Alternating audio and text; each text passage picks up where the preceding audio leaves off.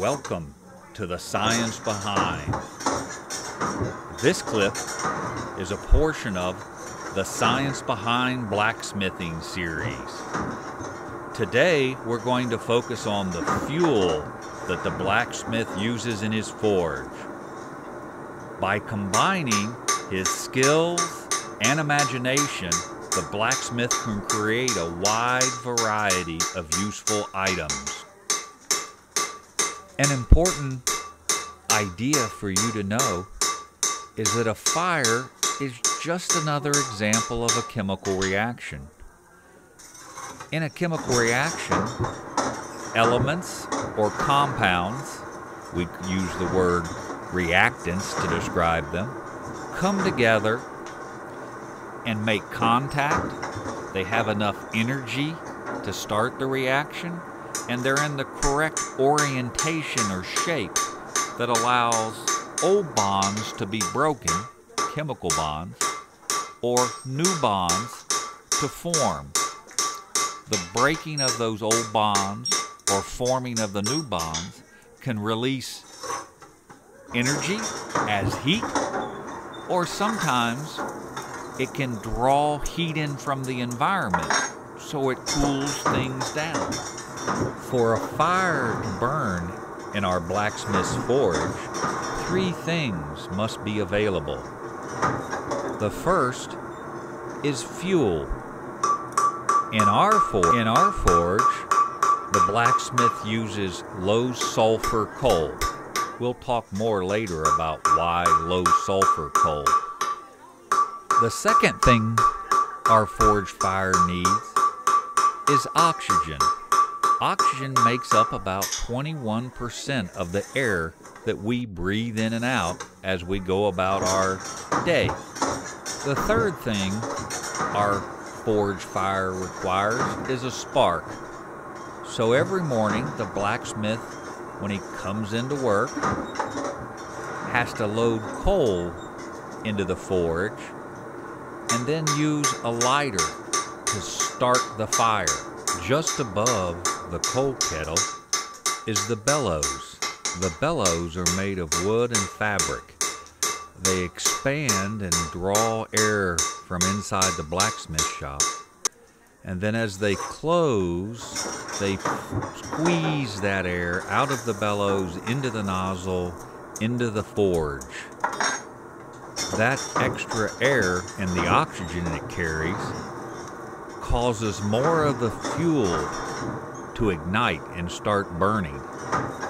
You can see in this short clip that as the blacksmith works the bellows with his left hand, he uses his rod stock that's the metal he's working on with his right, put it in the fire and increase the heat of the fire, increasing the flexibility or malleability of the metal.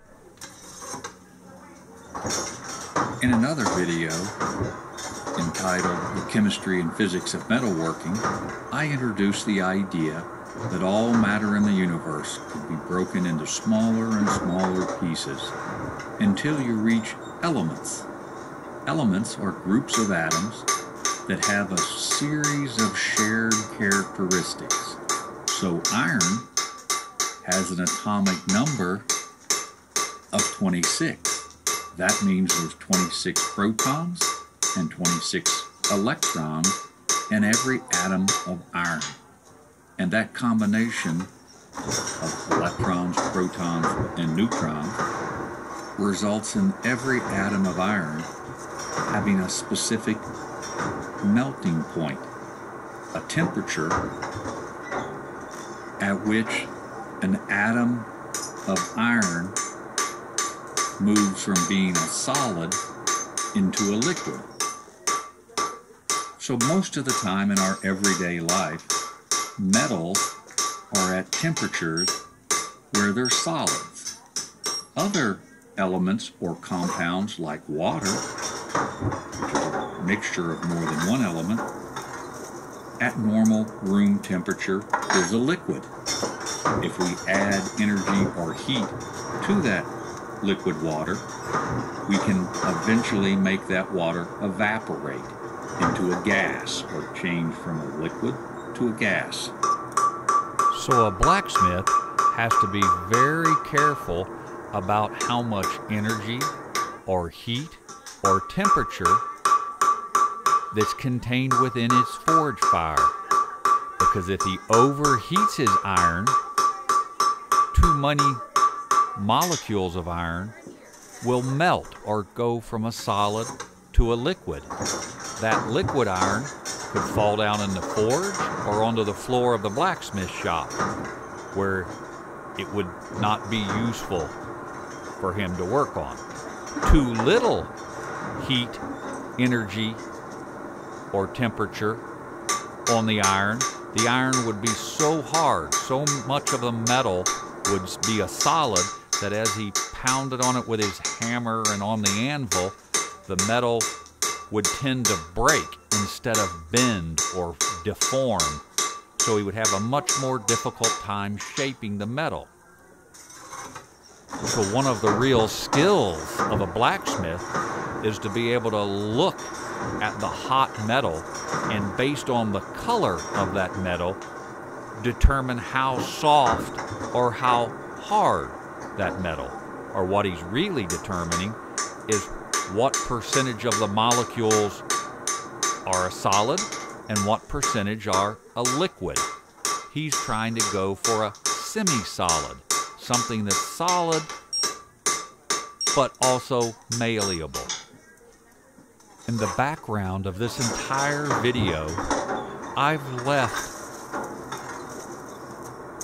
the blacksmith heating and then working the metal and then reheating the metal and working the metal. That's how the blacksmith spends his day shaping metal into useful items by controlling how much heat is held within the metal. How does he adjust that heat?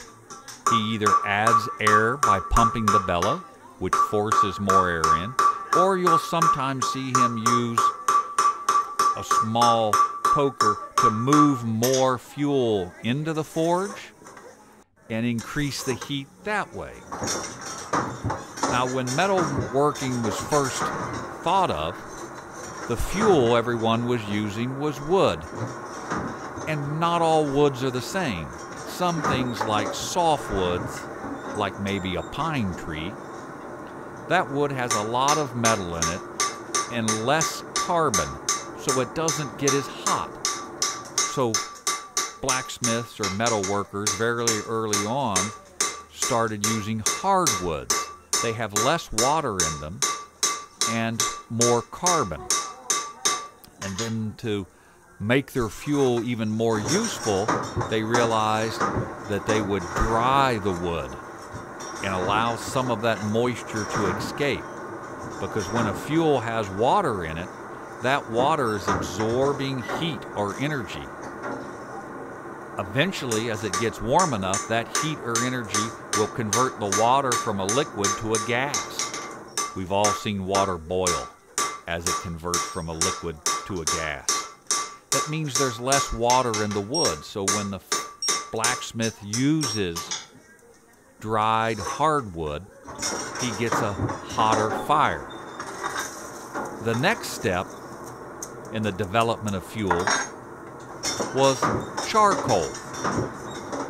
Charcoal is hardwood that is partially burned, and it's burned under conditions of low oxygen.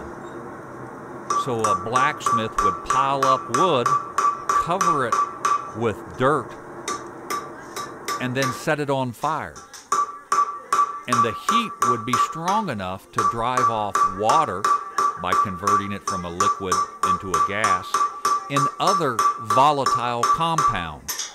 Volatile means a small compound that at lower temperatures goes moves from being a liquid into a gas.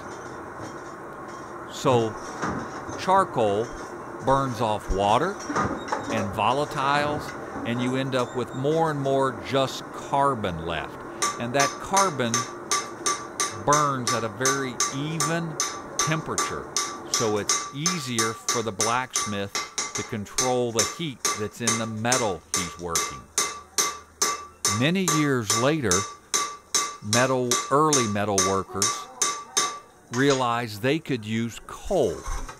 And coal, we call a fossil fuel, is really plants from a long, long time ago that died and fell into an old swamp.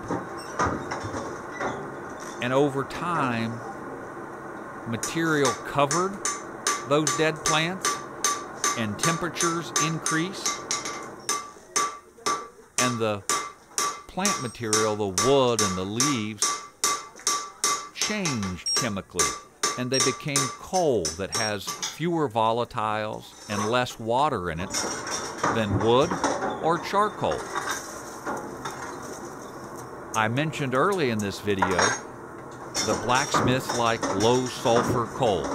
Sulfur out in the environment is mostly found as the element SO4 or sulfate. It means it's with every sulfur molecule, there's some oxygen nearby. And if you remember, fires need heat, an ignition source, a fuel, and they need oxygen. So if you use high sulfur coal, little extra bits of oxygen are added to the forge from that sulfur as it burns. And it makes the fire get hotter and then colder, hotter and then colder, hotter and then colder. So the blacksmith uses low sulfur coal so that it has a nice steady temperature to his forge fire. So the blacksmith starts off with coal. Here you can see a picture of coal and it's shiny and dark. And then in the morning he begins the next process. He changes coal to Coke, not Coca-Cola like you drink, but Coke. In this image, you can see the coal start to burn. And as it burns, the volatiles and the water comes off and goes out through the vent so that you and the blacksmith don't have to breathe that gases in. But then the blacksmith goes to the water barrel and starts pouring water on a portion of his coal, and it seals the top of the mound by cooling it off. Inside that mound, destructive distillation, or driving the water and volatiles off the coal, changes the coal to coke. So at the end of the day, we can get a look at this image, what no longer is the fuel bright and shiny coal, now it's gray and lumpy coke. That coke is almost all carbon and burns very long, very hot for the blacksmith. You can even buy some of that coke. The blacksmith has it hanging by the door of his shop and he calls it dragon poo or the leftover material after a long day at the fort.